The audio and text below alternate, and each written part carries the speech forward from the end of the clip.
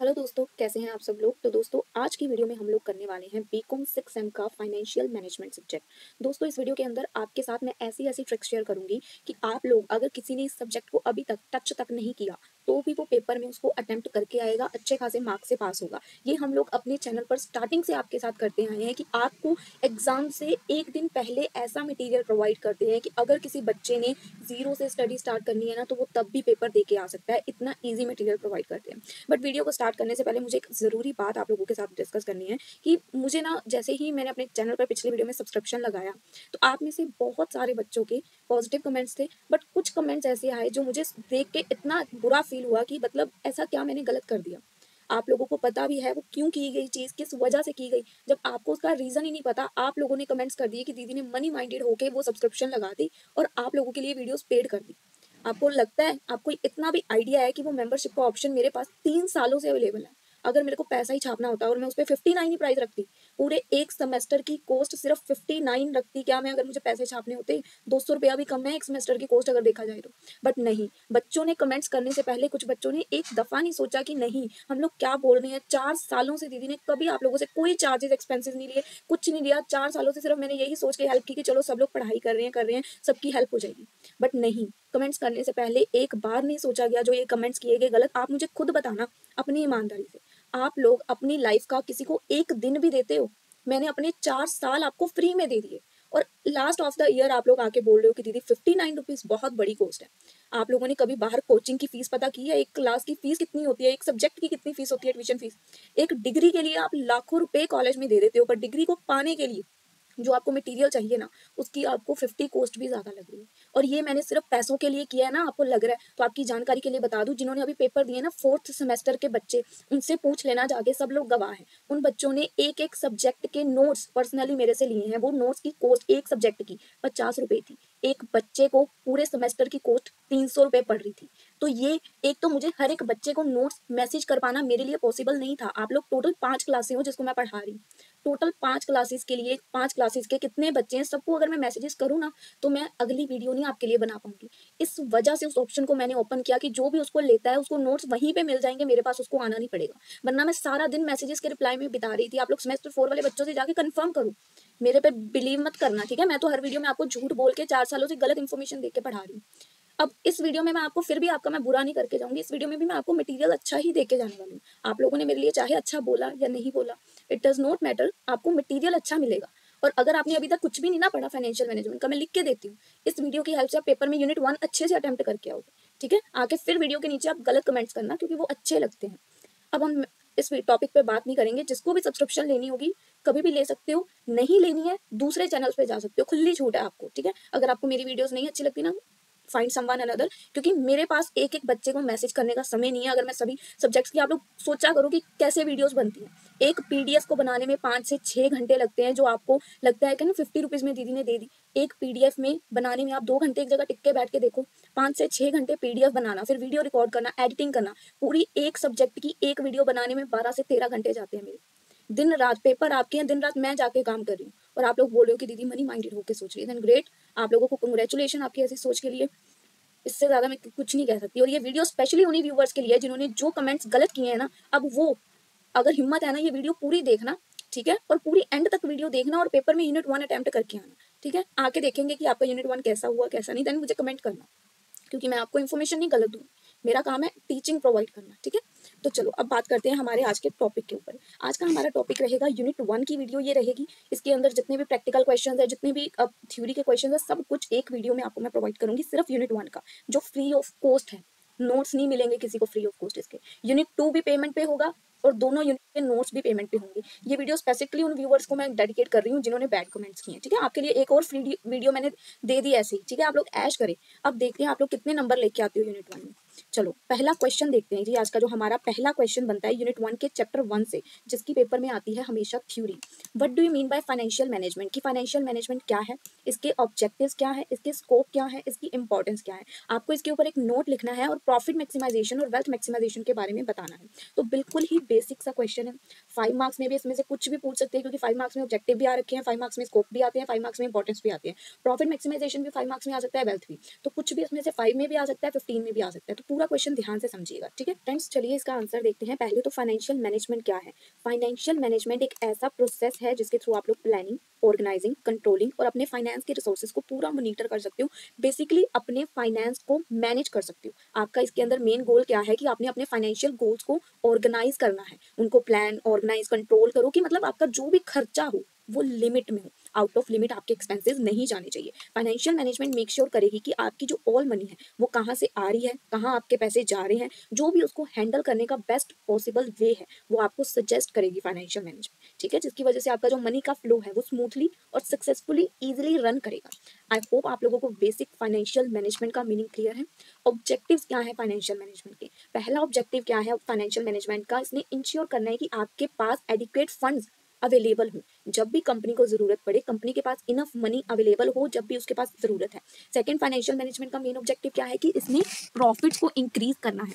Third wealth को maximise करना है। कंपनी के जो शेयर होल्डर्स होते हैं ना, या कंपनी की ओवरऑल वेल्थ होती है, उसके ऊपर मेन फोकस होता है फाइनेंशियल मैनेजमेंट का। फाइनेंशियल मैनेजमेंट चाहती है कि कंपनी की वेल्थ क्रिएट हो। फोर्थ क्या है कि ऑब्जेक्टिव ये रिस्क को मैनेज करती है। आप मैनेज करती है, आपको आइडेंटिफाई करके बता देती है कि कहाँ पे रिस्क है, कहाँ पे आपको उसको मैनेज करके चलना है और अपने लॉसेस को कहाँ पे अवॉइड करना है।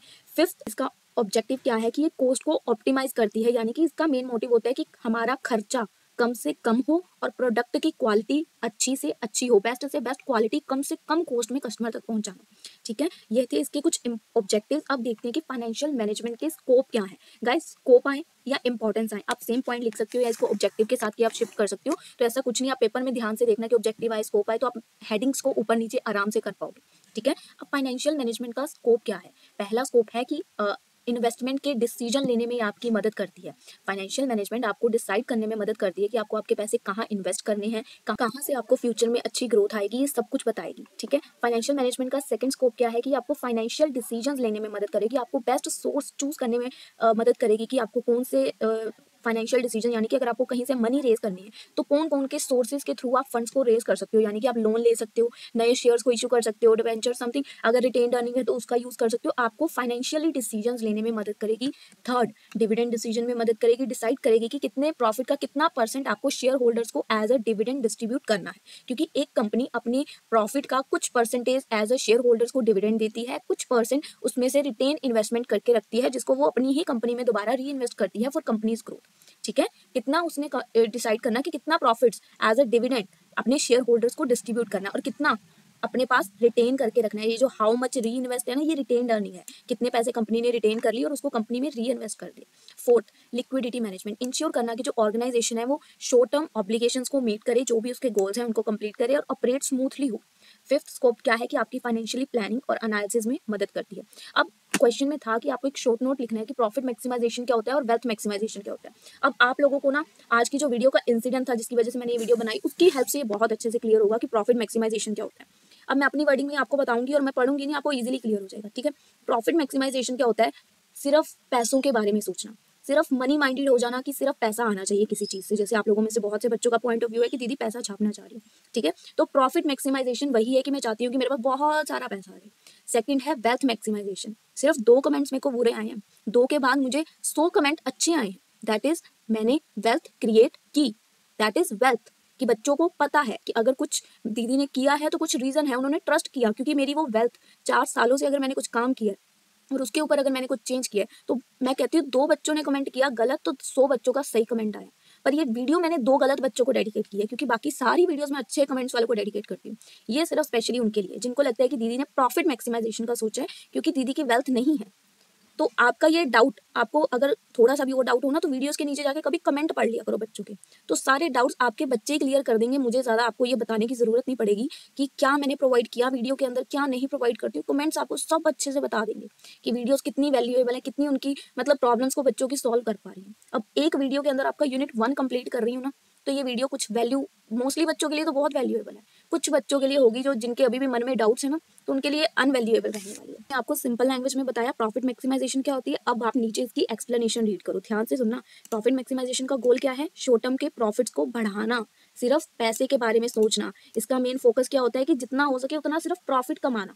इसका एडवांटेज क्या है कि क्विकली मुझे रिटर्न आएगा और मेरी फाइनेंशियल हेल्थ एकदम से अच्छी हो जाएगी। चाहे वो मुझे लॉन्ग टर्म में नुकसान करेगी, ठीक है? एकदम के लिए मतलब एक टाइम के लिए मेरी फाइनेंशियल हेल्थ अच्छी हो जाएगी और मैं सिर्फ़ एक, कुछ अमाउंट के लिए एक महीने के आपके सब्सक्रिप्शन के पैसे लेके अपनी चार सालों की मेहनत मिट्टी कर रही हूँ। आपको ये ध्यान में रखना है, ठीक है? इसकी डिसएडवांटेज क्या है? जब हम मनी माइंडेड हो जाते हैं तो हम रिस्क को इग्नोर कर देते हैं। हमारी वीडियोस की क्वालिटी घटिया हो जाती है। हम लोग लॉन्ग टर्म के बारे में नहीं सोच रहे हैं और कुछ, बहुत कुछ अनएथिकल कर देते हैं, ठीक है? अब आपको प्रॉफिट मैक्सिमाइजेशन मुझे नहीं लगता, कभी भी लाइफ में भूलेगा। और दूसरा आता है वेल्थ मैक्सिमाइजेशन गाइज़ मेरी बात ध्यान से सुनिए प्लीज़ मज़ाक अपनी जगह प्रॉफिट मैक्सिमाइजेशन एग्ज़ाम में लॉन्ग क्वेश्चन में भी आएगा। आगे आपको मैं इसके ऊपर प्रॉपर लॉन्ग क्वेश्चन दिखाऊँगी। तो प्लीज़ मज़ाक, जो गुस्से वाली बातें हैं, वो अलग रख के चलो और पढ़ाई को अलग समझने पर ध्यान दो। मेरा तो चलता रहता है, मैं बोलती रहती हूँ, जब मुझे गुस्सा आता है तो। वेल्थ मैक्सिमाइजेशन क्या है? वेल्थ मैक्सिमाइजेशन का क्या गोल है? कि उसने वैल्यू को क्रिएट करना है कंपनी की। कंपनी की वेल्थ क्रिएट करनी है कि लंबे समय तक कस्टमर्स उसी कंपनी के साथ जुड़े रहें। वहाँ पे एक वेल्थ क्रिएट हुई है, ठीक है? अगर आप लोग थोड़ा सा अंदाज़ा लगाएँ कि कुछ बच्चे मेरे चैनल पर ऐसे हूँ, हैं, मुझे लगता है, मुझे बहुत से बच्चे बताते हैं कि दीदी, हमने आपसे सेकंड सेम में पढ़ाई की, फिर हमने थर्ड सेम भी आपके चैनल से किया फोर्थ भी फिफ्थ भी सिक्स में आ गए ठीक है? तो उन्होंने मोस्टली सारे सेमेस्टर्स को मेरे चैनल से किया है तो दैट मीन्स मैंने उनके अंदर कुछ ऐसा छोड़ा ना प्रभाव कि उनको लगा कि पेपर में पास होना है तो सिर्फ़ यही वीडियोस देखनी। कुछ तो मैंने उस वीडियोस में दिया होगा यार आप लोगों को। इतनी बेकार भी नहीं बनाती थी मैं स्टार्टिंग में वीडियोस, जितने आप लोगों ने नेगेटिव कर दिया।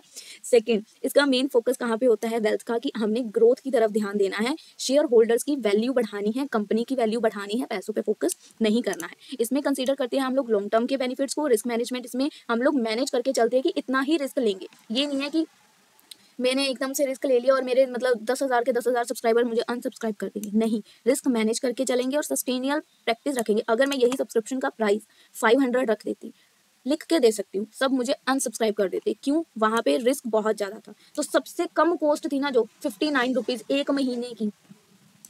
फिफ्टी नाइन रुपीज़ एक महीने की सब्सक्रिप्शन की सिर्फ़ वो रखी है यार। अगर अभी भी आप लोगों को दिक्कतें आ रही हैं तो उसमें मैं अब, उसमें कुछ भी नहीं कर सकती। मेरे पास टाइम ही नहीं है, मैं आपको पर्सनली मैसेजेस करके सब कुछ पढ़ाऊँ या समझाऊँ। तो मेरे पास जो ऑप्शन था, क्योंकि पहले थे मेरे चैनल पर कम बच्चे तो मैनेज हो जाता था। अब बच्चे गए हैं बड़ आप लोग खुद देखो चैनल पर ट्वेल्व थाउज़ेंड सब्सक्राइबर एक वीडियो पे दस हज़ार के पास व्यूज़ गए हुए हैं। तो तब मेरा हाल, मुझे पता क्या हुआ था, जब इतने कम बच्चों के मैसेजेस आए और रिप्लाई करने के चक्कर में अगली वीडियोस दो लेट हो गई थी। तो बच्चों के पेपर निकलने के बाद तो मैं वीडियो डालूँगी नहीं ना। ये चीज़ मुझे देखनी थी, इसी वजह से ये समस्या का समाधान निकाला था। बट गलत समझने वाले गलत समझेंगे। डिसएडवांटेज क्या है? अब इसके बाद गाइस देखिए, इस क्वेश्चन की थोड़ी सी समरी है। ये जस्ट अभी अगला क्वेश्चन मैक्सिमाइजेशन वाला है। पहले फ़र्स्ट क्वेश्चन को ध्यान से एक बार सुनो मेरी बात और फिर समझने की कोशिश करो। इसमें से आपको इसका मीनिंग भी पाँच मार्क्स में पूछ सकते हैं। इसके ऑब्जेक्टिव भी पूछ सकते हैं। इसके स्कोप भी पूछ सकते हैं। इसके इंपॉर्टेंट कुछ भी फाइव मार्क्स में आ सकता है। और अगर उनका दिमाग सटका तो पूरा क्वेश्चन पंद्रह मार्क्स में डाल सकते हैं। ठीक है? कुछ भी आए अटेम्प्ट कराना पेपर खाली मत छोड़ के आना, ठीक है? सेकंड क्वेश्चन की तरफ़ चलते हैं, जो पहले चैप्टर से इंपॉर्टेंट है प्रॉफिट मैक्सिमाइजेशन क्या होता है? Maximisation of profit is regarded as the proper objective of investment decision but it is not an exclusive maximisation shareholders wealth अब ये क्वेश्चन देख के हर एक इंसान कहेगा कि ये सिर्फ़ प्रॉफिट मैक्सिमाइजेशन का क्वेश्चन है बट जो इस क्वेश्चन को समझेगा, उसको इस क्वेश्चन के अंदर वेल्थ मैक्सिमाइजेशन भी दिखेगी। तो ये क्वेश्चन अकेला प्रॉफिट का नहीं प्रॉफिट प्लस वेल्थ का है। पेपर में आराम से तीन पेज प्रॉफिट के लिखो मैक्सिमाइजेशन के तीन वेल्थ के लिखो। तो पेपर आराम से आप लोग छह पेज की थ्योरी लिख के आ सकते हो। अब आपको मैक्सिमाइजेशन की काफ़ी मैंने बता दी बट आप लोग फिर से देखिए कि सर क्या है। Maximisation of profit has long been seen as the main goal of investment decision जैसे कि प्रॉफिट को मैक्सिमाइज करना इनका मेन गोल है। ठीक है? It's important to understand that solely focus on profit maximisation may not always lead to shareholders wealth क्या बोल रहे हैं? कि अगर हम सिर्फ़ सोलली प्रॉफिट पे फोकस करते हैं तो ये हमारे शेयर होल्डर्स की वेल्थ को मैक्सिमाइज नहीं करेगा। अगर हम पैसा पैसा पैसा पैसा सोचेंगे तो उससे मेरी रेपुटेशन थोड़ा क्रिएट होगी। आपको ये बात ध्यान में रखनी है। यहाँ पे वही लिखा है, ठीक है?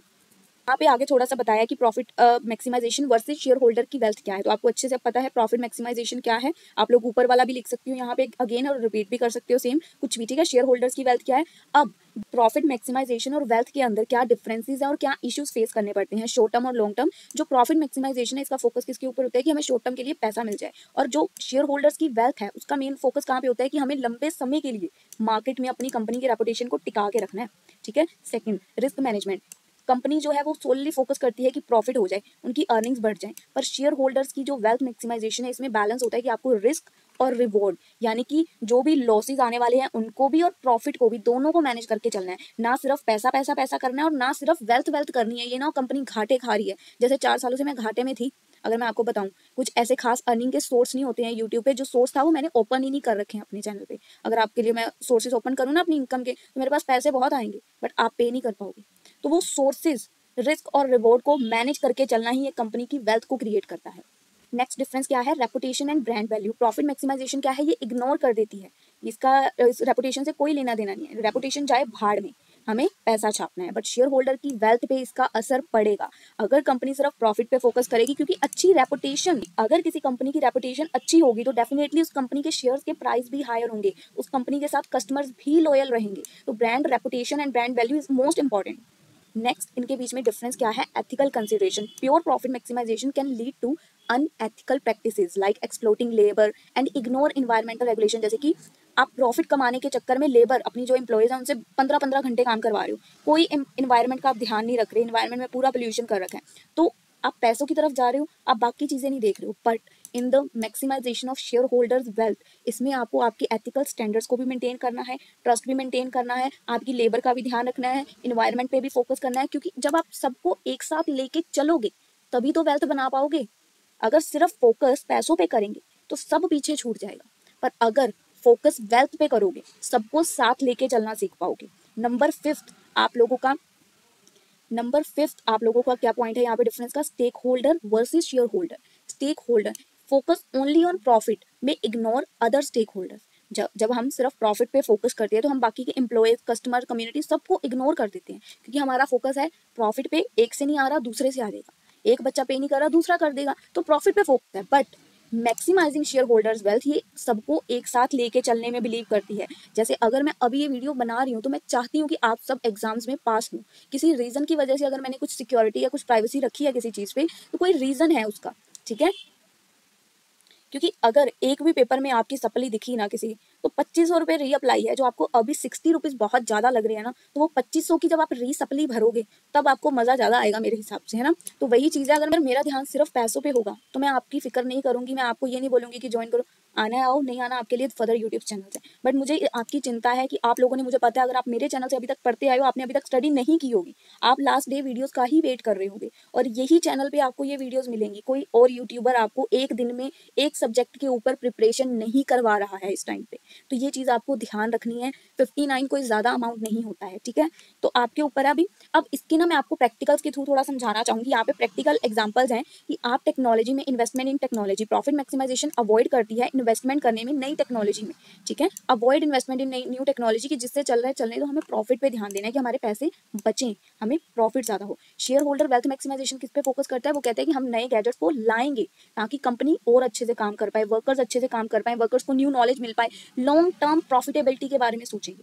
ठीक है? तो पहली प्रैक्टिकल एग्जांपल प्रॉफिट मैक्सिमाइजेशन वाला बंदा कभी नए गैजेट्स में इन्वेस्ट नहीं करेगा बट वेल्थ मेंटेन करने वाला करेगा। कोस्ट कटिंग मेजर्स तो ये गाइस बिल्कुल सिंपल पॉइंट्स है, दोनों ही, इसके बाद इस क्वेश्चन की कंक्लूजन है। तो यहीं पे ये प्रॉफिट मैक्सिमाइजेशन वाला क्वेश्चन हो जाता है, खत्म। अब नेक्स्ट क्वेश्चन आता है the modern approach of corporate finance in an improvement over traditional approach अब ये क्वेश्चन 2023 में पेपर में आया था, और आधे से बच्चे ज़्यादा इस क्वेश्चन को देख के ये बोलेंगे कि ये पहले चैप्टर का क्वेश्चन नहीं है। पहले चैप्टर का ही क्वेश्चन है ये। आप लोग पिछले पंद्रह सालों का पेपर उठा के देखो, उसमें ये क्वेश्चन ही नहीं दिखेगा। इवन आपको ये बुक में ही नहीं दिखेगा। बच्चे बोलेंगे, पहले चैप्टर का क्वेश्चन ही नहीं है। मैं बोल रही हूँ, पहले का ही है। और बहुत बेसिक क्वेश्चन है। समझा, अगर हम क्वेश्चन को समझेंगे तो हमें समझ आ जाएगा कि वो क्वेश्चन और पेपर बोल्ड करके ही डालेगी पीयू आपको ये ध्यान रखना है। पीयू की खासियत होती है पेपर ऐसे घुमा के डालना कि बच्चों का मतलब बस हैंग कर देना। तो आपको वो चीज़ नहीं करनी है। ध्यान रखना है पेपर घुमा के डालेंगे क्वेश्चन को समझ के फिर अटेम्प्ट करना है।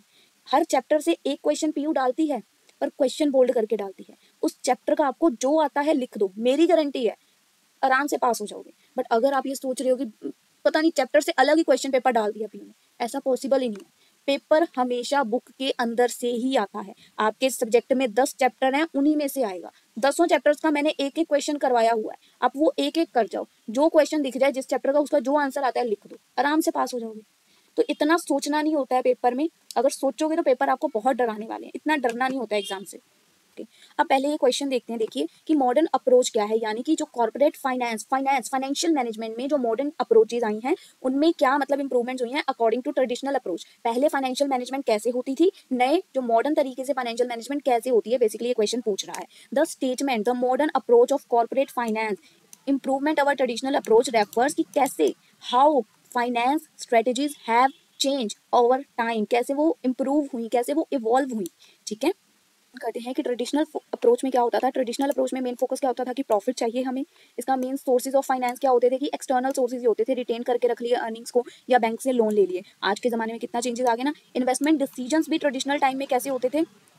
अप्रोच में इन्वेस्टमेंट डिसीज़न कैसे होते थे बेस्ड ऑन होते थे, जो भी इनके इमीडिएट प्रॉफिट्स हैं या इनकी पोटेंशियल है, उसके बेस पे होते थे। ये ज़्यादा कुछ कंसीडर नहीं करते थे कंसिडरेशन नहीं करते थे। और इसमें रिस्क मैनेजमेंट बहुत लिमिटेड होता था ट्रेडिशनल मेथड में, क्योंकि रिस्क मैनेजमेंट इतना एडवांस नहीं था, बहुत लोगों को इसको मैनेज करना आता ही नहीं था। बट मॉडर्न अप्रोच में क्या है फाइनेंशियल मैनेजमेंट कहाँ फोकस करती है कि शेयर होल्डर्स की वेल्थ बनी रहनी चाहिए? जो सोर्सेज हैं मनी को अरेंज जैसे कि फंड्स को अरेंज सोर्स ऑफ़ फाइनेंस पहले क्या होता था बैंक से लोन ले लिया या अर्निंग रिटेन कर ली? अब इतने फाइनेंशियल ऑप्शंस अवेलेबल हैं, जैसे equity debt hybrid instruments like convertible bonds या आप लोग किसी डिबेंचर्स ले सकते हो, आप लोग शेयर्स इशू कर सकते हो आगे इक्विटी शेयर्स तो बहुत सारे ऑप्शन आज के टाइम पे अवेलेबल है अगर आपको फंड्स की ज़रूरत है। थर्ड कॉम्प्रीहेंसिव इन्वेस्टमेंट डिसीज़न पहले क्या होता था थोड़ी जगह पे हम लोग इन्वेस्टमेंट करते थे but investment decision are made based on detail analysis आज के टाइम पे अगर हम कहीं इन्वेस्टमेंट करते हैं तो पूरी उसके ऊपर डिटेल एनालिसिस करते हैं, पूरे उसके शॉर्ट टर्म और लॉन्ग टर्म के गोल्स को देखते हैं, क्या उसने गेन किया है दोनों टाइम पीरियड्स के अकॉर्डिंग इवेल्युएट करते हैं रिस्क देखते हैं और उससे क्या हमें रिटर्न आएगी, सब चेक करने के बाद फिर हम उसमें इन्वेस्टमेंट करते हैं। अब रिस्क मैनेजमेंट करने के एडवांस फीचर आ सकते हैं, जैसे tools like derivative hedging insurance का यूज़ किया जाता है कि हम लोग अपने फाइनेंशियल रिस्क को मेंटेन कर पाए। इंश्योरेंस करवाते हैं ना लोग अपने रिस्क को कम करने के लिए। फिफ्थ क्या नया मॉडर्न अप्रोच है कि government corporate governance and ethics आ चुके हैं। यानी कि there is a strong emphasis on corporate governance जो कि इंश्योर करती है कि companies are managed in a way that are fair and transparent की कंपनीज़ कुछ फ्रॉड ना करें। मॉडर्न जमाना आ चुका है तो फ्रॉड भी बहुत होता है। तो यहाँ पे बहुत सारे ऐसे रूल्स और रेगुलेशन बनाए गए हैं जहाँ पे कॉर्पोरेट गवर्नेंस ध्यान रखती है कि कंपनीज़ अपनी जो भी सिचुएशन है उसको फेयर और ट्रांसपेरेंट रखें। ठीक है जी? तो अब जो हमारा ये सिस्टम है, इसके अंदर क्या इंप्रूवमेंट्स हो रही हैं? देखो, हमने अभी क्या देखा कि फाइनेंस का ट्रेडिशनल अप्रोच क्या था? ये सारे पॉइंट्स उसके हैं। फिर मॉडर्न अप्रोच क्या है? फाइनेंस का कॉर्पोरेट फाइनेंस का। अब इसमें क्या इंप्रूवमेंट्स की ज़रूरत है? की इंप्रूवमेंट्स लॉन्ग टर्म फोकस इसमें जो हमारा मेन फोकस है, वो लॉन्ग शॉर्ट टर्म के प्रॉफिट से शिफ्ट होके वो लॉन्ग टर्म की वेल्थ पे गया है कि हमें एक नाम बनाना है, हमें एक वेल्थ रेपुटेशन क्रिएट करनी है। सेकंड इसमें की इंप्रूवमेंट क्या है? बेटर रिस्क मैनेजमेंट हो चुका है। अब रिस्क मैनेजमेंट करने की बहुत सी टेक्निक्स आ चुकी हैं। थर्ड फाइनेंसिंग में नई नई इनोवेशन आ चुकी हैं। फोर्थ एथिकल और सोशल रिस्पॉन्सिबिलिटी यानी कि ethical practice and social responsibility कहीं ना कहीं हेल्प करती हैं एक पॉजिटिव रेपुटेशन को बिल्ड करने में या ट्रस्ट करने में कि शेयर होल्डर्स कंपनी में कंपनी जो भी है लंबे समय में हमें बेनिफिशियल प्रॉफिट्स दिलवाएगी। फिफ्थ ग्लोबल परस्पेक्टिव आज के टाइम पे अगर मॉडर्न हो चुके हैं, हम तो इसमें एक इम्प्रूवमेंट क्या आई है कि हम ग्लोबली इकोनॉमिक कंडीशंस को फॉलो करते हुए इकोनॉमिक ग्लोबल लेवल पे हम कंपनीज़ को ऑपरेट करने की परमिशन मिल चुकी है। अब हम इंटरनेशनली भी अपने काम को सप्लाई कर सकते हैं। और इस क्वेश्चन की यहाँ पे आती है कंक्लूजन एक क्वेश्चन पेपर में फाइव मार्क्स में आया था 2023 में कि good qualities what are the qualities of a good financial system क्या अच्छी क्वालिटीज अगर एक फाइनेंशियल सिस्टम है, वो बहुत अच्छा है। जैसे आप एक फाइनेंशियल मैनेजर हो, ठीक है? अब आप एक कंपनी के फाइनेंशियल मैनेजर हो, आपने फाइनेंशियल मैनेजमेंट करनी है तो आप में ऐसी क्या क्वालिटीज होनी चाहिए कि वो फाइनेंशियल मैनेजमेंट अच्छी है? पहले प्लानिंग बजटिंग होनी चाहिए। आप हर चीज़ का रिकॉर्ड बनाओगे। थर्ड आपके पास डिसीज़न मेकिंग आपको आती होनी चाहिए कि डिसीज़न मेकिंग आपको अकॉर्डिंग टू सिचुएशन लेनी आनी चाहिए, आपको रिस्क मैनेज करने आनी चाहिए, आपको परफॉर्मेंस को मॉनिटर करना आना चाहिए रिसोर्सेज को प्रॉपरली यूज़ करना आना चाहिए कैश फ्लो को मैनेज करना आना चाहिए रूल्स को फॉलो रूल्स आपको पता होनी चाहिए कम्युनिकेशन कम्युनिकेटिंग क्लियरली कम्युनिकेट करना आता होना चाहिए, ये नहीं कि आप गोल मटोल बातें कर रहे हो और जलेबियाँ बना रहे हो। अडेप्ट एंड इनोवेशन अगर कोई नया चेंज किसी चीज़ में आता है तो उसको एक्सेप्ट करना। जैसे हमारे चैनल पर सब्सक्रिप्शन आई, उसको एक्सेप्ट करना, कुछ चेंज किया, आपके भले के लिए किया तो उसको एक्सेप्ट करना क्योंकि बहुत कुछ आने वाले समय में चेंज होने वाला है। कुछ ना कुछ यूट्यूब नए अपडेट्स लाएगा, जिसकी वजह से कुछ ना कुछ हमें नया करना पड़ेगा। और अगर मैं पुराने मेथड्स फॉलो करेंगे ना तो आज के टाइम पे कोई भी, किसी भी फ़ील्ड में आपका करियर है, वो नहीं टिक पाएगा। अगर आप समय के साथ बदलोगे नहीं, नई चीज़ों को अपनाओगे नहीं तो नोकिया का फ़ोन देखा था कैसे गायब हुआ था? वैसे गायब हो जाओगे। ठीक है? सिंपल है। अब आपको इससे इजी भाषा में मैं नहीं समझा सकती। अब नेक्स्ट क्वेश्चन क्या है कि ये क्वेश्चन ना मुझे थोड़ा सा डाउट है, पता नहीं कौन से ईयर में पेपर में आया है बट आ रखा है। तो which financial decision is the financial manager acquire to take guys ध्यान से सुनो, इस वीडियो में प्रैक्टिकल क्वेश्चंस भी होंगे, जो प्रैक्टिकल चैप्टर्स आएँगे, अभी पहले चैप्टर के क्वेश्चन ये लास्ट क्वेश्चन है, इसके बाद प्रैक्टिकल्स भी करवाऊँगी मैं, ठीक है? अब, ये क्वेश्चन क्या बोल रहा है कि which financial decision is the financial manager acquire to take कि कौन सा फाइनेंशियल डिसीज़न फाइनेंशियल मैनेजर को लेना चाहिए? हाउ आर दीज डिसीज़न कैसे ये डिसीज़न एक दूसरे के साथ इंटर रिलेटेड है? और कैसे ये डिसीज़न एक दूसरे के साथ इंडिपेंडेंट है? एक फाइनेंशियल मैनेजर जो होता है responsible for making three keys financial decision investment decision financial decision and dividend decision तो ये तीन मेन डिसीज़न होते हैं जो एक फाइनेंशियल मैनेजर ले सकता है। तो इनके ऊपर एक्सप्लेन किया हुआ है कि ये क्या होते हैं इन्वेस्टिंग डिसीज़न क्या होते हैं, इसकी एग्जांपल इसका गोल क्या होता है। तो ये बिल्कुल बेसिक है। इसके अंदर मुझे नहीं लगता, मुझे आपको कुछ समझाना चाहिए। आराम से आप पढ़ सकते हो। अब ये जो डिसीज़न है, ये कैसे इंटर रिलेटेड होते हैं और कैसे एक दूसरे के ऊपर इंटर डिपेंडेंट होते हैं, जैसे इन्वेस्टमेंट और फाइनेंशियल तो इनका कनेक्शन क्या है? बिल्कुल बेसिक है, आप लोग इनकी कनेक्शन और डिपेंडेंसी बता सकते हो। फिर इन्वेस्टमेंट और डिविडेंड का क्या कनेक्शन है? ये भी, जैसे more money the companies reinvest less pay as dividend the more it can invest in the growth opportunity जितना कम एक कंपनी डिविडेंड पे करेगी, उतना ज़्यादा वो अपनी कंपनी के अंदर उसको री इन्वेस्ट कर पाएगी। The more the company reinvest उतना ही उस कंपनी का डिविडेंड लेस होगा। और जो कंपनी डिविडेंड ज़्यादा पे करेगी, वो इन्वेस्ट डेफिनेटली नहीं कर पाएगी। और इसमें डिपेंडेंसी आपको बता दें। तो बिल्कुल ईजिएस्ट लैंग्वेज है, जो आपको मतलब मुझे नहीं लगता समझने में एक परसेंट भी डिफिकल्टी आएगी। सिंपल एग्जाम्पल्स बता रखी है इन्वेस्टमेंट फाइनेंसिंग और डिसीज़न की। तो यहीं पर क्वेश्चन और ये चैप्टर पहला कंप्लीट है। अब सेकंड चैप्टर है आपका टाइम वैल्यू ऑफ़ मनी तो इसका एक क्वेश्चन इसी क्वेश्चन के अंदर मैं आपको इसकी थ्योरी भी समझा दूँगी, इसी के अंदर मैं आपको इसकी प्रैक्टिकल क्वेश्चंस भी समझा दूँगी। बस मेरी बातें अब ध्यान से सुनना, क्योंकि अब बातें आने वाली हैं लॉजिक के बेस पे। पहला बात, ये चैप्टर का नाम है टाइम वैल्यू ऑफ़ मनी अगर मैं आपको एक बात बोलूँ कि आपको आज मैं पाँच दे रही हूँ, आप पाँच सौ से आज एक चीज़ खरीद लाओ तो जो चीज़ आज आप पाँच सौ में खरीद पा रहे हो। आज से पाँच साल बाद वो चीज़ कम से कम आपको सात सौ में मिलेगी, यानी कि आने वाले समय में पाँच सौ की वैल्यू घट जाएगी, क्योंकि जो आज आपको पाँच सौ में मिल रहा है, कल वो आपको पाँच सौ में नहीं मिलेगा। Time value of money time के साथ साथ मनी की वैल्यू गिरती जाएगी। सिंपल मीनिंग क्लियर है चैप्टर का आपको?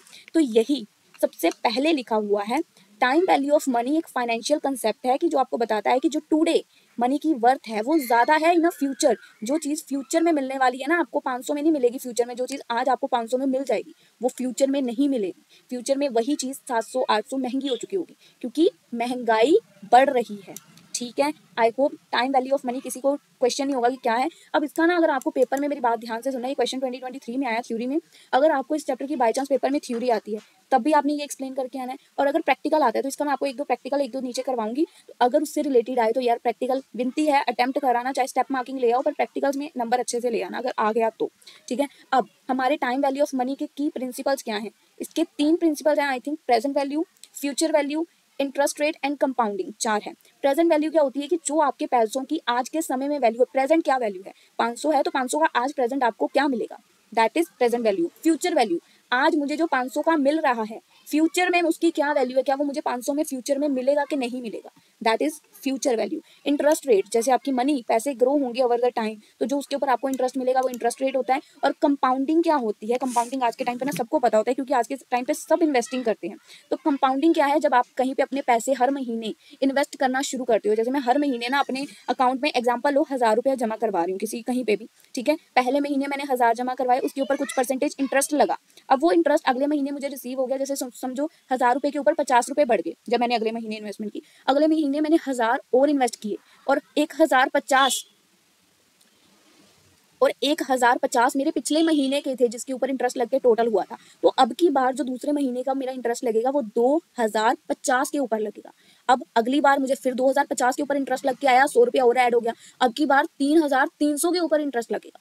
तो ये होती है कंपाउंडिंग जब आप थोड़ी थोड़ी मनी डाल रहे हो, पैसा आप सेम अमाउंट हर मंथ डाल रहे हो पर इंटरेस्ट के ऊपर इंटरेस्ट बढ़ता जा रहा है। और अगर आप आज ऐसा कोई काम शुरू करते हो कंपाउंडिंग वाला, कहीं पे हर महीने एक नॉर्मल अमाउंट डालना शुरू कर देते हो, और जब आप 20 साल बाद उस अमाउंट को देखोगे, आपके अकाउंट्स में कम से कम एक करोड़ रुपया बोलेगा। क्योंकि कंपाउंडिंग एक ऐसी चीज़ है ना, जो 20 सालों के अंदर आपके पैसे सिर्फ़ कितने जाएँगे? 10 से 12 लाख अकाउंट में हो जाएगा एक करोड़, सिर्फ़ कंपाउंडिंग की वजह से। कंपाउंडिंग एक ऐसी चीज़ है जो आने वाले समय में मिडिल क्लास को एक अपर क्लास का दर्जा दिला सकती है। पर हमारे कुछ शौक ऐसे हैं जो हमें मिडिल क्लास से लोअर क्लास पे ले आएँगे। हम लोग जो मिडिल क्लास खुद को बुलाते हैं ना एप्पल के फ़ोन ले लेके किस्तों पे लोअर पे आने वाले हैं, किस्तें भरते रह जाएँगे। तो बस मैं इस पे अब टॉपिक नहीं शुरू करूँगी, फिर बोलोगे बातें बहुत होगी।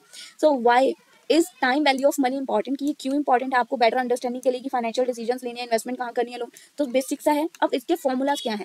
इसमें कुछ फॉर्मूलाज यूज़ होते हैं, आपको बिल्कुल बेसिक समझने हैं फॉर्मूलाज ईजी हो जाएँगे। अगर आपको किसी भी क्वेश्चन में बोल देते हैं कंपाउंड वैल्यू निकालो। क्या नहीं बोलो, बोलेंगे कंपाउंड वैल्यू सॉल्व करो। कंपाउंड वैल्यू निकालने को क्या कंपाउंडिंग कब होती है? पहले मुझे ये बताओ। फ्यूचर में जाके होगी कि अभी अगर मैंने पैसे जमा कराए तो वो कंपाउंड होकर मुझे मिल जाएँगे। आप बोलो कि दीदी फ्यूचर में ही होगी। काफ़ी सालों तक हम पैसे जमा कराएँगे, तब फ्यूचर में जाके वो कंपाउंड होकर मिलेंगे। जिस क्वेश्चन में आपको बोला गया कंपाउंड वैल्यू फाइंड आउट करो, वहाँ आपने फ्यूचर वैल्यू का फॉर्मूला लगाना है। फ्यूचर वैल्यू का फॉर्मूला क्या होता है? Present value present value divided by one plus rate of return जो भी रेट ऑफ़ इंटरेस्ट आपको वहाँ पे लिखा होगा ऊपर उसके जो आता है multiply by number of years कि कितने सालों के लिए आपने उसको इन्वेस्ट किया, ठीक है? नंबर ऑफ़ पीरियड कितने टाइम के लिए। अब इस फॉर्मूले को और इजी समझना है। अगर आपको ये समझ आ गया कि मल्टीप्लाई करके ये लिखा है हमने प्रेजेंट वैल्यू इनटू ये, अब अगर मैं आपको अगले फॉर्मूले में बोलूँ कि प्रेजेंट वैल्यू निकालनी है तो फ्यूचर वैल्यू ये वाली वैल्यू इसके डिवाइड में आ जाएगी ना, ये वैल्यू जो है वन प्लस आर ये डिवाइड में चली जाएगी फ्यूचर वैल्यू के वन प्लस आर ऊपर एन तो ये देखो प्रेजेंट वैल्यू का फॉर्मूला क्या है? प्रेजेंट वैल्यू फ्यूचर वैल्यू के डिवाइड में आ गई वन प्लस आर और उसकी पावर एन तो ये फॉर्मूला दोनों, मुझे नहीं लगता किसी को दिक्कत होगी निकालने के या याद रखने में। फ्यूचर वैल्यू क्या है? अगर आपको क्वेश्चन में बोला कंपाउंड वैल्यू निकालो तो आपने फ्यूचर वैल्यू का फॉर्मूला यूज़ करना है एंड प्रेजेंट वैल्यू का तो आपको प्रेजेंट ही बोला होगा। अब, अगर किसी क्वेश्चन में बोला गया कि future value of an annuity future value of an annuity तो ये देखो future value of annuity present value simple formula वही रहेगा, यहाँ तक फॉर्मूला उसके बाद सिंपल इसमें से माइनस वन कर दोगे। सिंपल, इसमें से minus one divide by rate जो यहाँ पे आर है ना डिवाइड बाय रेट ठीक है? बिल्कुल इजी है प्रेजेंट वैल्यू अब ये फ्यूचर वैल्यू ऑफ़ एन्युटी की, अब प्रेजेंट वैल्यू ऑफ़ एन्युटी अब इसमें भी अगेन अब इसमें भी मल्टीप्लाई है, इधर भी मल्टीप्लाई ये चेंज नहीं होगा वन अब यहाँ पे माइनस वन जो है, ध्यान से देखो, यहाँ पे वन बाद में माइनस हो रहा है फॉर्मूले के बाद, यहाँ पे वन आगे लगेगा वन माइनस ये करके, और फिर एन और डिवाइड में आएगा हमारा आर तो ये फॉर्मूला जो डिटरमाइन करेगा कि करंट वर्थ क्या है। अब ये इस चैप्टर के मेन जो इंपॉर्टेंट फॉर्मुलाज हैं, चार ही हैं फ्यूचर वैल्यू प्रेजेंट वैल्यू और एनुटी के बेस पे दो फॉर्मुलाज अब इसका एक प्रैक्टिकल क्वेश्चन समझो, बहुत ईजिली क्लियर हो जाएगा। आपको कैलकुलेट करनी है कंपाउंड वैल्यू टेन थाउज़ेंड के पहले तो मैंने आपको बताया जहाँ आपको कंपाउंड वैल्यू लिखा होगा, आपको फ्यूचर वैल्यू का फॉर्मूला लगाना है। कंपाउंड वैल्यू आपको फ्यूचर में मिलेगी टेन थाउज़ेंड है एंड ही एंड्स ऑफ़ थ्री ईयर्स की एंडिंग पे twelve percent rate of interest है, आपको ईयरली बेसिस और क्वार्टरली बेसिस पे इसकी कंपाउंड वैल्यू निकालनी है। पहले यहाँ पे ईयरली बेसिस पे निकालते हैं। अब देखो यहाँ फॉर्मूला क्या लिखा है, पागल करने वाला। ये फॉर्मूला इजी है फ्यूचर वैल्यू ये फ्यूचर वैल्यू है, ये प्रेजेंट वैल्यू है, ये वन प्लस आर है, ये एन अब समझ आया? यहाँ पे देखो प्रेजेंट वैल्यू प्रेजेंट वैल्यू क्या है? प्रेजेंट वैल्यू, कंपाउंड वैल्यू क्या है टोटल उसकी? टेन थाउज़ेंड टेन थाउज़ेंड उसकी जो कंपाउंड करके वैल्यू आएगी वो multiply by one plus R rate of return उसका कितना है? ट्वेल्व परसेंट उसकी पावर थ्री अब आपको ना ये चैप्टर जो है, इसके लिए पीछे आपकी बुक के कंपाउंडिंग के चार्ट्स गिवन होंगे कि ये रेट ऑफ़ इंटरेस्ट के चार्ट्स गिवन होंगे कि इतनी परसेंटेज पे इस इंटरेस्ट की ये वैल्यू है। तो आपको उसके अंदर ट्वेल्व परसेंट पे थर्ड ईयर में उसकी वैल्यू देखनी है। ट्वेल्व परसेंट पे थर्ड ईयर में उसकी वैल्यू देखनी है वैल्यू होगी one point four zero five ये अगर पेपर में ऐसा क्वेश्चन आता है तो आपको वो टेबल आपके पेपर में दिया जाएगा। वैसे ये क्वेश्चंस फाइव मार्क्स में आते हैं तो इसके लिए वो इतना क्वेश्चन पेपर क्रिएट नहीं करेंगे कि आपको ये पेपर में क्वेश्चन दें और फिर आपको वो टेबल भी बना के दें। बट अगर आएगा तो आपको वो इंटरेस्ट वाली वैल्यूज़ जो आपकी बुक्स के पीछे टेबल है, वो साथ में देंगे वो, ठीक है? तो अब यहाँ पे देखो ट्वेल्व के ऊपर थर्ड ईयर में वैल्यू देखनी आपको ये दे दी। अब इसको आप सिंपली मल्टीप्लाई कर दोगे तो फोर्टीन थाउज़ेंड आंसर आ जाएगा। अब अगर आपने इसको क्वार्टरली बेस पे निकालना है ईयरली का तो सिंपल हिसाब था क्वार्टरली में पंगा आएगा। क्वार्टरली में क्या प्रॉब्लम आएगी? क्वार्टरली में आपके क्वार्टर्स एक साल में कितने क्वार्टर होते हैं? चार क्वार्टर होते हैं। तो यहीं पे ये देखो चेंज है डिवाइड में आपके क्वार्टर्स लग जाएँगे ट्वेल्व अपॉन फोर और यहाँ पे अकेला थ्री था, अब क्वार्टर्स मल्टीप्लाई हो जाएँगे क्योंकि ये क्वार्टरली बेसिस पे है, पर करना तो पूरे साल का है ना, एक क्वार्टर के बेस पे बताना है और यहाँ पे आप इसकी वैल्यू या तो इसको डिवाइड करोगे ज़ीरो पॉइंट थ्री आ जाएगी। तो चार्ट में देख लेना थ्री परसेंट पे ट्वेल्थ ईयर थ्री परसेंट पे बारहवें साल में ये वैल्यू होगी। अगर आप ऐसे नहीं देखना चाहते तो यहाँ पे देखो इन्होंने करके दिखाया भी हुआ है नीचे तो आप सिंपल भी कर सकते हो ठीक है कि आ, इसको ऐसे ही छोड़ के ट्वेल्व परसेंट पे देख लो। तो अब जब हमने ये कर दिया तो हमारी ये वैल्यू आ गई। अब हमने सिंपली इसको इसके साथ मल्टीप्लाई कर देना है हमारी ये वैल्यू निकल आएगी। इन्होंने यहाँ पे कुछ और मेथड किया है ध्यान से देखो। इनका ये मेथड नहीं है जो मैं आपको बता रही हूँ। तो ये वाला मेथड आपको अप्लाई करना है जो मैं पेंसिल से लिखा है twelve divided by four four के टेबल पे ट्वेल्व कितने में आता है? थ्री पे तो ज़ीरो पॉइंट थ्री परसेंट आपकी यहाँ पे वैल्यू बनी यानी कि थ्री परसेंट थ्री परसेंट तो यहाँ पे सोच लो थ्री परसेंट यहाँ हम ट्वेल्व परसेंट ले रहे थे यहाँ थ्री परसेंट आ गया। तो थ्री परसेंट के बारहवें ईयर में, यानी ट्वेल्थ ईयर में आपको वैल्यू चेक करनी है, उसको टेन ईयर के साथ टेन थाउज़ेंड के साथ मल्टीप्लाई करोगे आंसर आ जाएगा। तो सिंपल से क्वेश्चन है, अगर आपको पेपर में आते हैं तो सिंपल क्वेश्चन आएँगे, इन्हीं फॉर्मुलाज के बेस पर अगर ट्रिकी आते हैं, छोड़ देना प्रैक्टिकल नहीं करेंगे फिर हम, क्योंकि इसके प्रैक्टिकल के फाइव मार्क्स के आने में पॉसिबिलिटी है, और ये चैप्टर पागल करने वाला है। ठीक है? तो इसके अंदर ज़्यादा घुसना नहीं है। अब यहाँ पे कुछ इसकी प्रैक्टिकल एग्ज़ाम्पल दिखा रखी है कि सेविंग अकाउंट में ये है, जिन्होंने थ्योरी करनी है। वो इसको अच्छे से रीड करना, पढ़ने से ही समझ आ जाएँगी कि ये क्या है। कुछ ज़्यादा इसके अंदर वो नहीं लिखा मैंने कि आपको समझ ना आए, ठीक है? तो आप लोग बहुत ईजिली पढ़ लोगे। वो सिंपल एग्जाम्पल्स थी। अब ये कुछ रियल वर्ल्ड की एप्लीकेशन बताई है कि रियल वर्ल्ड में, असल दुनिया में टाइम वैल्यू ऑफ़ मनी कहाँ इंप्लीमेंट होती है? रिटायरमेंट की जब आप प्लानिंग करते हो एजुकेशन फंड्स देखते हो मोर्गेज कैलकुलेट करते हो तो इसके अंदर होती है। ठीक है? तो सिंपल क्वेश्चन है, अब टाइम वैल्यू ऑफ़ मनी का सिर्फ़ एक ही क्वेश्चन कराया, इसके अंदर एक ही थ्योरी का बना, एक ही मैंने प्रैक्टिकल करवाया। प्रैक्टिकल आ गया तो वेल एंड गुड है अटेम्प्ट कर देना। नहीं आया तो थ्योरी में कुछ भी पूछ ले टाइम वैल्यू का। सेम यही पूरा आंसर चेप के आना है।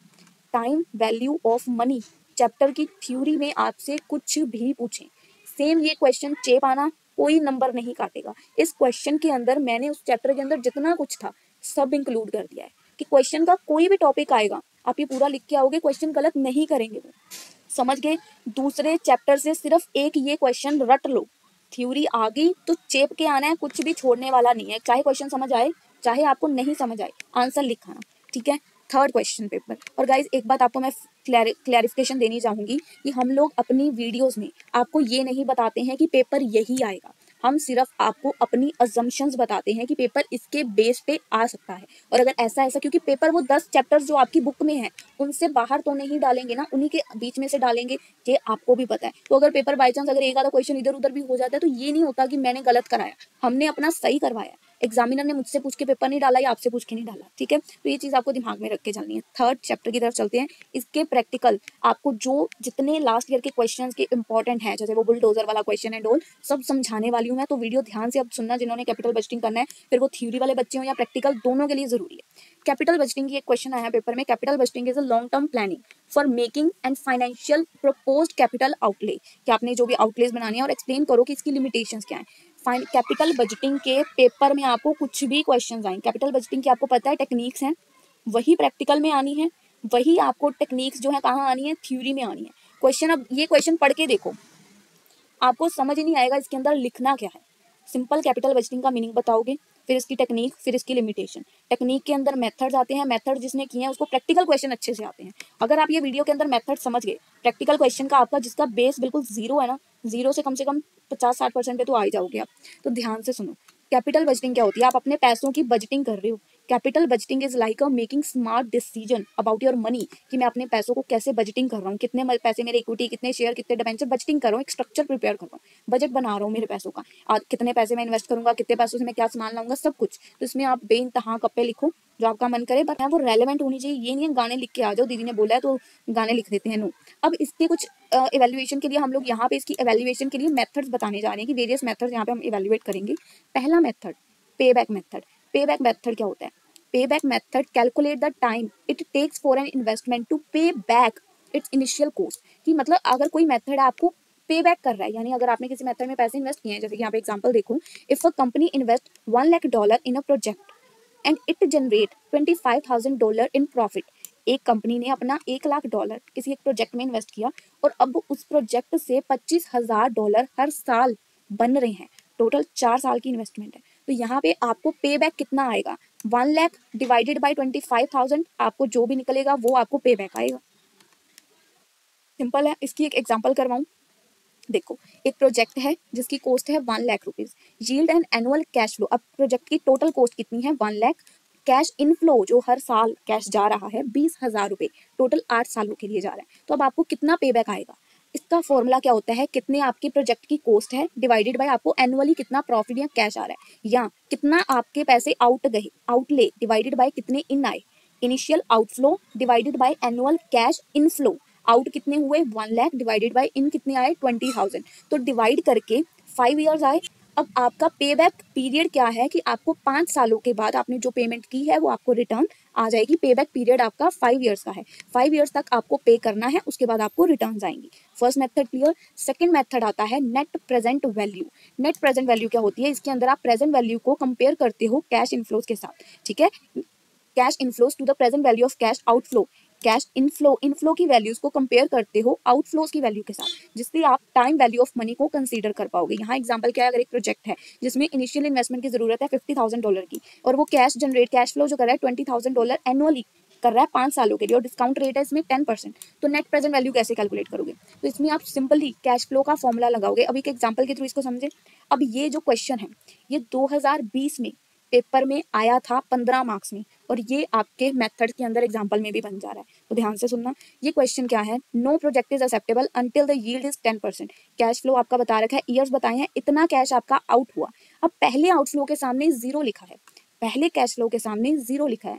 अब, जो बच्चे अभी आप लोग सिक्स सेम के बच्चे हो, आपको ऑपरेशनल रिसर्च सब्जेक्ट है, उसमें रिप्लेसमेंट आता है चैप्टर रिप्लेसमेंट में आपको पता होगा beginning of the year ending of the year one one one point nine point zero something हम लगाते हैं सेम वही झमेले यहाँ करेंगे। अगर किसी को नहीं भी पता तो मैं अभी समझा देती हूँ। जो यहाँ पे ज़ीरो लिखा है ना, इसका मतलब है बिगिनिंग ऑफ़ द ईयर यहाँ पे वन लिखा है, यानी कि एक साल बीत चुका है फ़र्स्ट ईयर की एंडिंग में, ठीक है? एक साल खत्म होने के बाद, एक साल की एंडिंग में कैश कितना गया? तीस हज़ार। और जब बिज़नेस स्टार्ट हुआ ज़ीरो लिखा है, यानी कि beginning of the business one lakh fifty thousand clear है? अब यहाँ पे कैश आना कितना शुरू हुआ? इनफ्लो कितना हुआ? Twenty thirty sixty eighty thirty अब सेल्वेज वैल्यू आपको गिवन है फोर्टी थाउज़ेंड तो आपको नेट प्रेजेंट वैल्यू कैलकुलेट करनी है। अब इसका सोल्यूशन बहुत इजी है। पहले तो कैश आउटफ्लो जब भी आपका, जब यहाँ पे बिगिनिंग ऑफ़ द ईयर वाली वैल्यू है, अगर तो वो बिगिनिंग ऑफ़ द ईयर है तो उसका प्रेजेंट वैल्यू फैक्टर वन रहेगा। उसका प्रेजेंट वैल्यू फैक्टर वन रहेगा, किसी भी परसेंटेज पे। Ten nine eight seven six present value factor कितना रहेगा?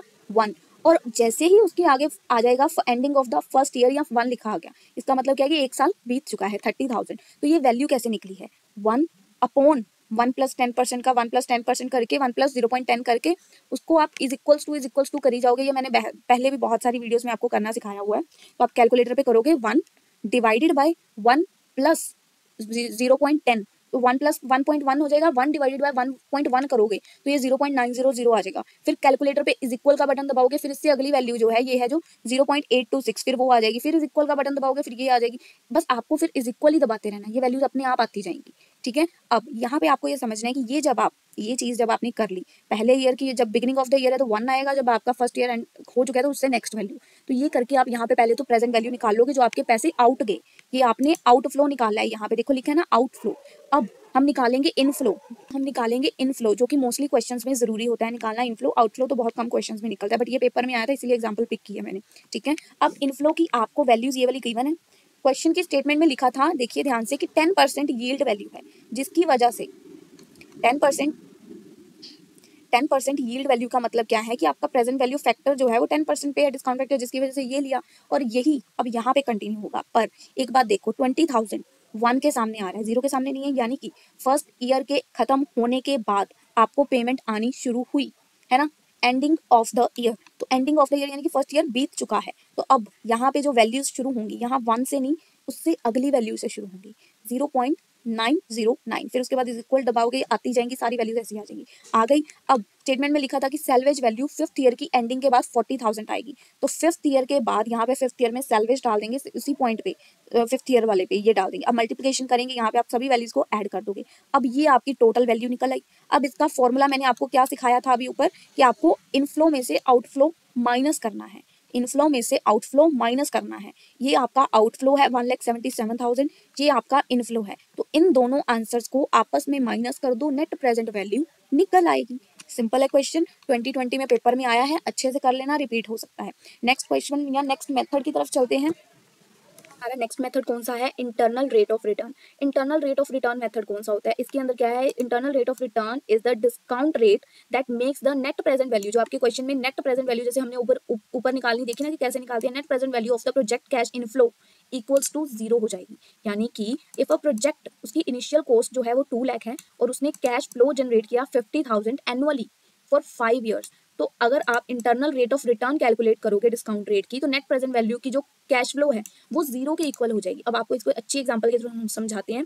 इसके अंदर आपको मैं दो एग्ज़ाम्पल समझानी चाहूँगी। ध्यान से सुनिएगा, दोनों डिफरेंट डिफरेंट है। पहले तो इसके अंदर आपको सिंपल इनिशियल आउटले की इतने पैसे गए। इतने ईयर्स के लिए गए, इतना कैश फ्लो है, ठीक है? तो आपको इंटरनल रेट ऑफ़ रिटर्न निकालनी है। इनिशियल आउटफ्लो और डिवाइडेड बाय कैश इनफ्लो आपको पता है तो सिंपल करके आपका फोर आया। अब इंटरनल रेट ऑफ़ रिटर्न का भी आपकी बुक्स के पीछे आपको टेबल गिवन होता है, जिसमें से आपको फोर ये फोर आया ना फोर परसेंट को आपको फिफ्थ ईयर में जाके देखना है। वैल्यू फैक्टर आपको फोर गिवन है फोर को फिफ्थ ईयर में। आपको फाइव ईयर यहाँ पे गिवन है ना तो लिखा हुआ है, अगर आपको प्रेजेंट वैल्यू एनुटी टेबल में प्रेजेंट करके चेक करना है जाके फिफ्थ ईयर में present value factor of four की वैल्यू कितनी है? वहाँ जाके जब आपको देखोगे टेबल में तो वो वैल्यू आपको एट परसेंट दिखेगी एट आ जाएगा नियरली एट परसेंट अब, इसी मेथड का सेकंड एग्ज़ाम्पल क्या है, जो कि थोड़ी सी डिफरेंट है, ध्यान से सुनिएगा इंटरनल रेट ऑफ़ रिटर्न के लिए। इसमें आपको इनिशियल इन्वेस्टमेंट दी है एसेट की लाइफ दी है फोर ईयर्स और यहाँ पे आपके जो, आपको प्रॉफिट या कैश फ्लो इनफ्लो दिए हैं, कि आपको हर साल पेमेंट जो आ रही है, वो अनबैलेंस है। अब आपका कैश इनफ्लो बैलेंस नहीं है। देखिए फिफ्टीन थाउज़ेंड आया, फिर ट्वेंटी फिर थर्टी फिर ट्वेंटी अनबैलेंस सिचुएशन है। अब यहाँ पे आपको इंटरनल रेट ऑफ़ रिटर्न कैसे निकालना है? आपको कैश फ्लो गिवन है, ऐसे ही लिख लिया। अब आपको डिस्काउंट फैक्टर्स अज्यूम करने हैं। यहाँ पे देखिए अज्यूम कर रहे हैं हम लोग discount factor ten twelve fourteen fifteen अब आपने ये डिस्काउंट फैक्टर अज्यूम कर लिए। टेन फैक्टर के अज्यूम पे अब ये फ़र्स्ट ईयर से स्टार्टेड है तो डेफिनेटली ये मतलब कि वन से स्टार्ट नहीं होगी। फ़र्स्ट ईयर की एंडिंग में तो zero point nine zero nine तो इसको कैसे निकालोगे ये सारी वैल्यूज़ को? जैसे यहाँ पे टेन परसेंट है तो one divide by one plus zero point ten करोगे इज़ इक्वल का बटन दबाना है, फिर इज़ इक्वल का दबाना है, फिर इज़ इक्वल का दबाना है, ये सारी वैल्यूज़ आती जाएँगी। इधर वाले में क्या करना है? One upon one plus zero point twelve करके is equal is equal is equal is equal करते जाओ, ये सारी वैल्यूज़ आ जाएँगी। इधर फोर्टीन कर देना ज़ीरो पॉइंट इधर ज़ीरो पॉइंट फिफ्टीन करके, ठीक है? अब आपको ये वाली जो वैल्यूज़ है, इसको पहले इसके साथ मल्टीप्लाई करना है, यहाँ प्रेजेंट वैल्यू निकल आएगी, फिर इसको इसके साथ मल्टीप्लाई करना है, यहाँ प्रेजेंट वैल्यू फिर इसको इसके साथ मल्टीप्लाई करना है फोर्टीन परसेंट की प्रेजेंट वैल्यू सबकी प्रेजेंट वैल्यू निकल आई। अब सबकी प्रेजेंट वैल्यू का टोटल लगा लो। अब हमारा टोटल इनिशियल इन्वेस्टमेंट थी कितने की? सिक्सटी थाउज़ेंड की। किन दो परसेंटेज के बीच में हमारी सिक्सटी थाउज़ेंड लाई कर लिया हमारी टोटल सिक्सटी थाउज़ेंड की थी तो sixty thousand five ninety five या फिफ्टी नाइन थाउज़ेंड इन दोनों के बीच में कहीं हमारी सिक्सटी थाउज़ेंड की इन्वेस्टमेंट आ रही है फोर्टीन परसेंट और फिफ्टीन परसेंट के रेट के बीच में।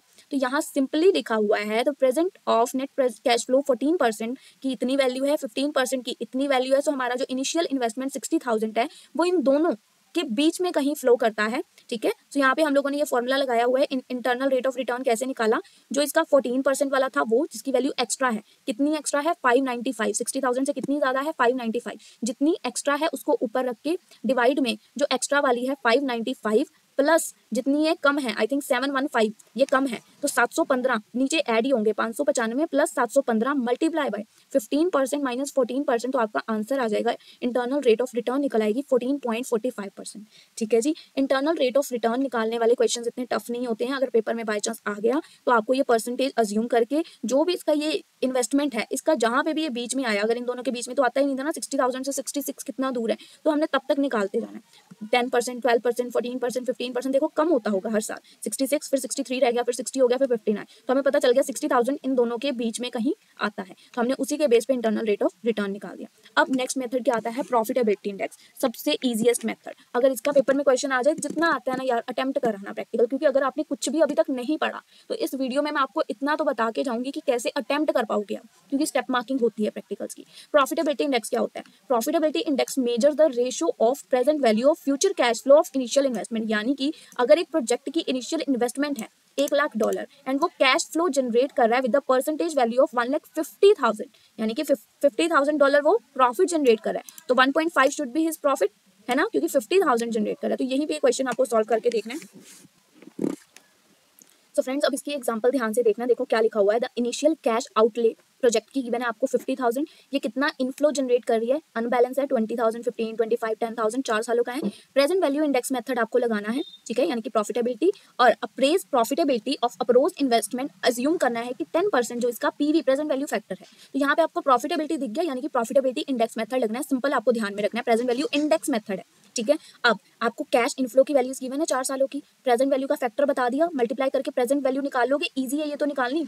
अब आपने जब प्रेजेंट वैल्यू निकाल ली, इसका टोटल किया fifty six thousand one seventy five आपका इनिशियल आउटले कितना था? फिफ्टी थाउज़ेंड माइनस करके आपकी आ गई प्रेजेंट वैल्यू प्रॉफिटेबिलिटी कैसे निकालना है आपने? जो आपका आउटफ्लो था, जो आपका इनफ्लो आया डिवाइडेड बाय आपका जो आउटफ्लो है. फिफ्टी सिक्स थाउज़ेंड आपकी total present value I total present value divided by आपका जो इनिशियल आउटफ्लो है, वो डिवाइड करोगे, आपका प्रॉफिटेबिलिटी इंडेक्स निकल आएगा. अब आपका प्रॉफिटेबिलिटी इंडेक्स जो निकला है, वो हायर देन वन है. दैट मीन्स प्रपोजल आपका एक्सेप्ट हो चुका है। प्रॉफिटेबिलिटी इंडेक्स अगर वन से अबव आ जाता है हायर आ जाता है तो आपका एक्सेप्ट हो जाएगा। अब अगर आपको प्रॉफिटेबिलिटी इंडेक्स निकाल दिया, अब नेट प्रॉफिटेबिलिटी इंडेक्स निकालना है। ये ताम झाम नहीं करना। जो आंसर आया, इसमें से वन को माइनस कर दो। ये सबसे नीचे देखो। नेट प्रॉफिटेबिलिटी इंडेक्स निकालने के लिए प्रॉफिटेबिलिटी इंडेक्स का जो आंसर आया, उसमें से वन को माइनस कर दो। नेट प्रॉफिटेबिलिटी इंडेक्स का आंसर निकल आएगा ठीक है? बिल्कुल इजी क्वेश्चन है। प्रॉफिटेबिलिटी इंडेक्स का कुछ ज़्यादा डिफ़िकल्ट नहीं है। नेक्स्ट मेथड क्या है? ये मेथड की मुझे एग्ज़ाम्पल नहीं मिली। ये मेथड की मुझे एग्ज़ाम्पल नहीं मिली बट ये मेथड आप लोग कर लीजिए, क्योंकि यहाँ पे लिखा हुआ है तो थ्योरी में ही आपके काम आ सकता है। मुझे इसकी एग्ज़ाम्पल नहीं मिली तो ईजिएस्ट है ये भी आपको average accounting rate of return निकालना है, ठीक है? अब कुछ क्वेश्चंस मैं आपको करवाने चाहूँगी, जो कि आपके लिए ज़रूरी है जानने, क्योंकि कंप्लीट होते हैं बट आपको भी साथ में कुछ इंपॉर्टेंट क्वेश्चन शेयर करने चाहूँगी, जो कैपिटल बजटिंग में मोस्टली एग्ज़ाम्स में आते हैं, देखे गए हैं। तो अगर आपका लक अच्छा निकला तो क्वेश्चन आ सकते हैं तो आपको समझाने चाहूँगी। अब ये जो क्वेश्चन है, एक आपकी बुक्स की एग्ज़ाम्पल है बुलडोजर वाली तो ये क्वेश्चन जो है ना, अगर आप इसकी स्टेटमेंट ध्यान से समझेंगे तो बहुत ईजिली समझ आएगा। बहुत से बच्चों को समझ नहीं आता तो इसीलिए ये क्वेश्चन पिक किया है मैंने इस वीडियो में। तो देखिए a bulldozer which has a service life of ten year एक बुलडोजर जिसकी दस साल की लाइफ है।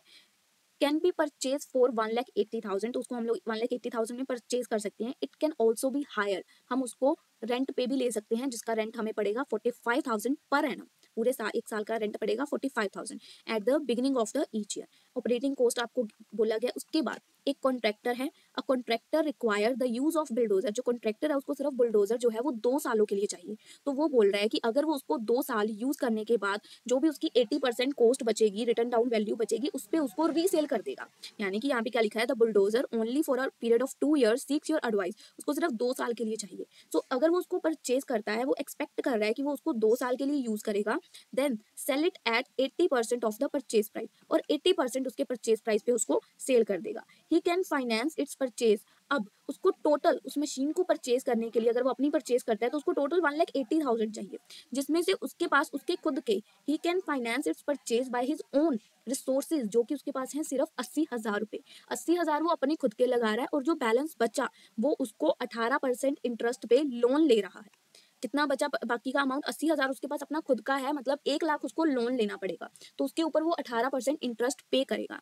द इंटरेस्ट ऑन लोन जो है वो एनुअली पे होगा at the end of the year ठीक है? Repay out the sale process by bulldozer for income tax procedure income tax के पर्पज के लिए जो उसकी डेप्रिजेशन है, वो डिडक्ट होगी ट्वेंटी फाइव परसेंट इसकी डेप्रिजेशन निकलेगी ट्वेंटी फाइव परसेंट क्योंकि दो साल उसने उसको अपने पास रखा ना बुलडोजर को तो दो सालों में वो बुलडोजर थोड़ा तो घिसा होगा। डेप्रिजेशन क्या होती है? घिसावट। वो निकालेंगे डोमिनेंस की हेल्प से एक्सेस रियलाइजेशन होगी रिटर्न डाउन वैल्यू और उसके बाद यहाँ पे टैक्स रेट बता रहे हैं फिफ्टी परसेंट तो आपको एंड ऑफ़ द ईयर ये अज्यूम करना है, उसके बाद minimum internal rate ten percent तो आपको एक सुटेबल स्टेटमेंट बनानी है। अब आपको स्टेटमेंट पूरी समझ आ चुकी है आई थिंक क्लियरली कि बुलडोजर वो रेंट पे लेगा या बाई करेगा जो भी है अब, हमने इस क्वेश्चन को सॉल्व करना है। हमने दो चार्ट्स बनाने हैं। पहला चार्ट बनेगा आउटफ्लो का। कौन से पैसे उसके पास से बाहर गए? आउट गेट आउट हो गए। कौन सी पेमेंट उसने की? ठीक है? पहला इनिशियल कैश आउटले जो उसने खुद के पैसे इन्वेस्ट किए eighty thousand starting of beginning of the business वो इन्वेस्ट करेगा तो वन आएगा प्रेजेंट वैल्यू फैक्टर और present value eighty thousand secondly अस्सी हज़ार उसके खुद के थे, एक लाख उसने उधार लोन लिया। कितनी परसेंटेज पे? अठारह परसेंट पे। एक लाख का अठारह परसेंट अठारह हज़ार। इसके ऊपर उसको फिफ्टी परसेंट टैक्स पे करना पड़ेगा पहले साल का। पहले साल का टैक्स पे किया नौ हज़ार, अठारह हज़ार के ऊपर पहले फिफ्टी परसेंट उसको फ़र्स्ट ईयर में पे करना पड़ा फिफ्टी परसेंट उसको सेकंड ईयर में पे करना पड़ा। नौ नौ हज़ार फ़र्स्ट ईयर के अकॉर्डिंग यहाँ पे प्रेजेंट वैल्यू फैक्टर क्या बनता है? पहले साल के अकॉर्डिंग ये था ज़ीरो ईयर जब आपका अभी स्टार्टिंग हुई है beginning of the business zero year अब यहाँ पे एक साल हो चुका है zero point nine zero nine अब यहाँ पे दो साल हो चुके हैं तो zero point eight two six ये आपके प्रेजेंट वैल्यू मल्टीप्लाई करके आ जाएँगे। अब एक वैल्यू हमने यहाँ पे और लगानी है, उसकी इनकम टैक्स लगानी है, जो भी उसने बुलडोजर को जिस भी प्राइस पे सेल किया। अब इसके लिए ये वैल्यू समझने के लिए या ये समझने के लिए आपको ये नोट समझना पड़ेगा। अब अगर उसने दो साल बुलडोजर का यूज़ किया, दो साल उसने पहले तो बुलडोजर का यूज़ किया तो उसने दो साल के लिए उस बुलडोजर की डेप्रिसिएशन निकालनी पड़ेगी हमें यहाँ पे। तो रिटर्न डाउन वैल्यू क्योंकि डेप्रिसिएट हुआ ना, पहले साल भी वो बुलडोजर डेप्रिसिएट हुआ होगा दूसरे साल भी दो साल उसने यूज़ किया। पहले साल जब उसके पास बुलडोजर था, एक लाख अस्सी हज़ार का था क्वेश्चन में हमें पच्चीस परसेंट डेप्रिसिएशन गिवन है। क्या, पहले साल की डेप्रीजेशन फोर्टी फाइव थाउज़ेंड आई। वन लाख एट्टी थाउज़ेंड में से पहले साल की गिसावट पैंतालीस हज़ार आप माइनस कर दो। पहले साल की डेप्रिसिएशन निकालने के बाद उस मशीन की वैल्यू रह गई एक लाख पैंतीस हज़ार। दूसरे साल में आए, दूसरे साल की शुरुआत में, ये क्लोजिंग था तो यहाँ ओपनिंग दूसरे साल की शुरुआत में अब मशीन की वैल्यू कितनी है? एक लाख पैंतीस हज़ार। दूसरे साल फिर पच्चीस प्रतिशत डेप्रिशिएट हुआ पूरे साल के बाद तो डेप्रिसिएशन निकली तैतीस हज़ार। अब एक लाख पैंतीस में से तैतीस हज़ार की डेप्रिसिएशन फिर माइनस कर दो तो एक लाख एक हज़ार की। दो साल उस कॉन्ट्रैक्टर ने, उस बुलडोजर का यूज़ किया, दोनों सालों की डेप्रिसिएशन को माइनस करने के बाद आज प्रेजेंट उसकी जो रिटर्न डाउन वैल्यू है मार्केट में one lakh one thousand two fifty है। ठीक है? और क्वेश्चन में बोला गया था, उसने उस मशीन को अस्सी प्रतिशत पे सेल कर दिया। यानी कि उसकी टोटल वैल्यू थी एक लाख अस्सी हज़ार। एक लाख अस्सी हज़ार क्या अस्सी प्रतिशत करो, एक लाख चौतालीस हज़ार बनता है। यानी कि इस पे उसने उसको सेल कर दिया, जबकि उस मशीन की रिटर्न डाउन यानी कि वैल्यू प्रेजेंट वैल्यू मार्केट में क्या थी? One lakh one thousand two fifty तो इन दोनों को माइनस करके जो उसको प्रॉफिट हुआ बुलडोजर को सेल करने पे that is forty two thousand seven fifty अब ये भी उसके पास आया। तो forty two thousand seven fifty के ऊपर उसको टैक्स पे करना पड़ेगा फिफ्टी परसेंट तो वो टैक्स यहाँ पे पे किया गया। अब ये forty two thousand after two years आया ना, दो सालों के बाद end of the second year end of the second year तो यहाँ पे ये सेकंड ईयर वाली वैल्यू लगेगी zero point eight two six multiply करो प्रेजेंट वैल्यू का ये निकल आएगा। अब ये निकाला हमने आउटफ्लो अब निकालेंगे हम इनफ्लो का चार्ट इनफ्लो का बनाए। अब पहले तो उसने जो सेल की पहले तो जब उसने देखो, अब उसने वो बुलडोजर जब लिया, उसके बुलडोजर को उसने कितने में सेल किया? एक लाख चौवालीस हज़ार में। एक लाख चौवालीस हज़ार में सेल किया। उसमें से एक लाख का तो उसने लोन लिया था, जो उसने पे कर दिया। चौतालीस हज़ार उसका प्रॉफिट मुनाफा बना, पर कब? दूसरे साल के एंड में। तो ना पहले साल की वैल्यू ना दूसरे ना ज़ीरो ईयर की वैल्यू ना पहले की, सीधा दूसरे की वैल्यू यहाँ पे आएगी। मल्टीप्लाई कर दिया। उसके बाद जो उसने यहाँ पे ये जो दो डेप्रीजिएशन आई है, इसका टैक्स ऊपर पे ही नहीं किया। इसका भी तो फिफ्टी फिफ्टी परसेंट पे होना है। तो इन दोनों का फिफ्टी फिफ्टी परसेंट डेप्रिसिएशन के ऊपर टैक्स जो सेव किया था इसने ऊपर, वो पे कर देंगे। फ़र्स्ट ईयर के सामने फ़र्स्ट ईयर की वैल्यू सेकंड के सामने सेकंड की तो प्रेजेंट वैल्यू जो जो इनफ्लो आया, जो जो इनफ्लो आया, ये टैक्स ये इसका सेव हुआ था। ये इनफ्लो में क्या है कि उसको क्या क्या बचा? टैक्स फिफ्टी परसेंट टैक्स उसका सेव हुआ फिफ्टी परसेंट उसने पे किया। उसके बाद यहाँ पे उसको क्या प्रॉफिट बचा? चौतालीस एक लाख चौतालीस की उसने मशीन सेल की, एक लाख लोन पे किया, चौतालीस हज़ार उसको बचा। क्या क्या उसके पास इनफ्लो आया? तीन चीज़ें आई। पहला प्रॉफिट बचा। दूसरा, उसने जो डेप्रिसिएशन हुई, उसके ऊपर उसको फिफ्टी परसेंट की छूट मिल गई थी। फिफ्टी परसेंट उसको टैक्स पे करना पड़ा। तो फिफ्टी परसेंट ये वैल्यूज़ निकाली। अब आउटफ्लो माइनस इनफ्लो क्या निकलता है? सबको पता है नेट प्रेजेंट वैल्यू आउटफ्लो एक लाख तेरह हज़ार का इनफ्लो सत्तर हज़ार का। तो ये माइनस करो नेट कैश आउटफ्लो निकल आएगा। अब ये तक अब तक के सारे फॉर्मूलाज में मैंने करवाया है। अब ये बुलडोजर वाला क्वेश्चन 80 परसेंट आपको समझ आ चुका है, ठीक है? अब यहाँ पे एक पॉइंट क्वेश्चन में और था कि वो उसको हायर अगर वो उसको हायर करता है बुलडोजर को forty five thousand per annum वो उसका पे करेगा तो सिंपल से आपको इसका भी एक शो कर देना है कि हायर एज अगर आप उसको बुलडोजर को हायर करते हो, उसके बेस पे बता देना है कि कैश आउटफ्लो क्या है और इनफ्लो क्या है। अगर वो हायर करता है तो उसके पास से क्या क्या जाएगा, उसको रेंट पे करना पड़ेगा, दोनों सालों का forty five forty five thousand first year में इतना सेकंड ईयर में इतना तो परसेंटेज लगा के आप वो प्रेजेंट वैल्यू निकाल दोगे और अगर इनफ्लो तो यहाँ पे उसका टैक्स सेव होगा इन दोनों के ऊपर। रेंट पे करेगा टैक्स सेव होगा फिफ्टी परसेंट हायर चार्जेस के ऊपर तो आपको वो टैक्स के अमाउंट को यहाँ पे फिफ्टी परसेंट करके उसका फैक्टर लगा के यहाँ पे कर देना है। तो यहाँ पे भी आपको माइनस करके प्रेजेंट वैल्यूज़ और आउटफ्लो और इनफ्लो को माइनस करके नेट कैश आउटफ्लो शो कर देना। तो ये सिंपल बुलडोजर वाला क्वेश्चन है, जो कि बहुत इंपॉर्टेंट है। तो प्लीज़ अच्छे से करके जाना, बहुत ईजी क्वेश्चन है। अब एक क्वेश्चन और है, जो 2022 में पेपर में आया है। A company has to make a choice between buying of two machine machine एक की कॉस्ट है वन लाख रुपीज़ मशीन एक की कॉस्ट है वन लाख रुपीज़ और जिसके अंदर उसके रनिंग एक्सपेंसिस आ रहे हैं थर्टी टू थाउज़ेंड के। और एक मशीन बी है जिसकी कॉस्ट है वन लाख फिफ्टी थाउज़ेंड ये देखो, और जिसको रन करने के एक्सपेंसिस आ रहे हैं ट्वेंटी थाउज़ेंड रनिंग एक्सपेंसिस ठीक है? अब both the machine have a life of ten year दोनों मशीन की लाइफ क्या है? दस सालों की है ज़ीरो सैलवेज वैल्यू है।